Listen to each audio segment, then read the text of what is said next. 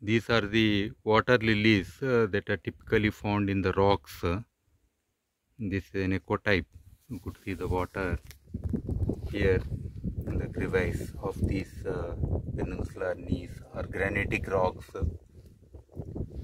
These are the beautiful uh, flowers that would emerge and could see some frogs also living in this habitat.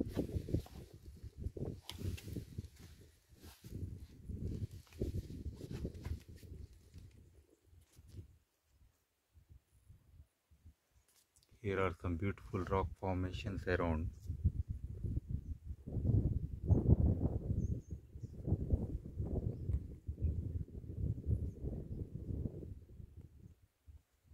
This is a balancing stone. This is near the earth center.